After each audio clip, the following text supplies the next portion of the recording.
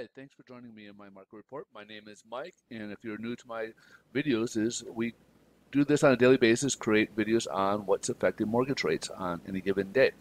So we kind of look at economic data, we look at headline news, we kind of get into the sentiment of the markets and see what is impacting uh, the mortgage rates on any given day.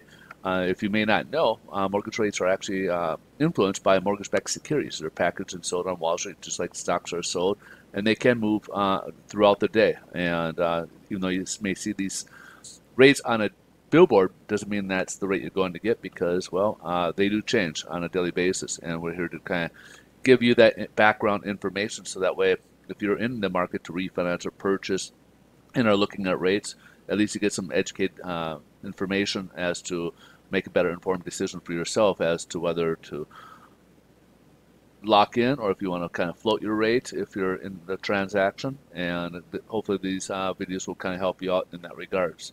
A little bit about myself is I am a loan officer. I do work at with the national lender so we can help. We work with people all in all 50 states. We uh, can certainly answer questions regards to like mortgage rates or mortgage programs or different uh, products out there. Uh, my company does offer a lot of different loan programs. Even one that they just came out recently is a physician loan program. That's their own. Uh, we do offer, among others, as well, uh, and some great jumbo loan programs. So if you got questions about those or we can help you out with those, please feel free to reach out. We're here to help you guys. Uh, without further ado, we'll just jump right in and start talking about the economic report today. Uh, the big one will actually be tomorrow. We'll get the Bureau of Labor Statistics uh, releasing their unemployment rates and their non-farm payrolls. So that's really what investors will be looking at. And uh, today, again, um, this is what's pretty much what investors are looking at. They're looking at the data for jobs. So today, we every Thursday, we get job initial jobless claims. So last week's report initially came in at 353,000. It was revised slightly higher to 354. Forecast is supposed to dip down to 345,000 and dipped a little bit further down to 340,000. So only 340,000 people applied for unemployment for first-time benefits. And we're also seeing people here, if you're looking at this uh, non-highlighted uh, area, uh, that they were um, going lower. Uh, however, the previous week was 2.862, but revised higher to 2.9. But so it shows a pretty big drop down to 2.748 uh, this week. So fewer people are staying on unemployment, which is good news. And then also the Challenger layoffs. These are announced layoffs and that dropped pretty dramatically by about 3,000, 3 million people, 3,000 or 3 million jobs. So this is all good news here. Uh, that, you know that people are staying less on unemployment and also less layoffs plans. So to continue with our um, economic reports, we got the final revisions for the labor costs. This could be a uh, inflationary data here, so this is something we definitely want to keep on looking at. These are on an annual basis. So the previous report, uh, initial report came in at 1%. Forecast will show it dipping down to 0.9%. However, that got uh, that rose to 1.3%. So this is something that the Fed will watch uh, because obviously uh, higher costs associates with inflation, and a lot of employers are trying to do what they can to get employees back to work, and increase. A lot of it is increasing their cost to do so. Uh, so this could create a bit of a inflationary drag on the um, economy. And then we also got productivity. Uh, its initial uh, last initial one came in at 2.3 percent. Forecast is come for 2.4, and that actually dropped. So instead of going upwards, it went downwards uh, productivity, and that's the final revision here uh, at 2.1 percent.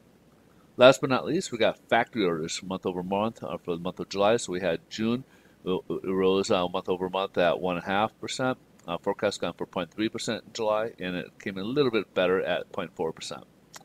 So if you look at the headline news, uh, stocks are mixed. Um, Nasdaq is really the only one that's in negative territory, but there's not a lot of movement, primarily because they are kind of looking more ahead. They're kind of looking, they're just uh, investors today are kind of looking if they can find any um, any good deals out there, really. I mean, that's really kind of what it comes down to. Uh, stocks have been going up so much that they're kind of scam, skimming along, see if there's anything they feel has good mar- good value to them. And in the meantime, uh, they are waiting for tomorrow's uh, release of the by the Bureau, Bureau of Labor Statistics, Statistics uh, or BLS uh, jobs numbers, because this is what will kind of dictate to the Fed as to whether they should start tapering sooner or later. and if it comes in a, a bad number, well, they'll probably look at uh, the Fed. The Fed will probably at their next meeting towards the end of the month that they will probably look at towards uh, tapering later. Maybe not. Maybe not this year, but maybe beginning of next year. So uh, we do know tapering is going to happen at some point, but uh, it could happen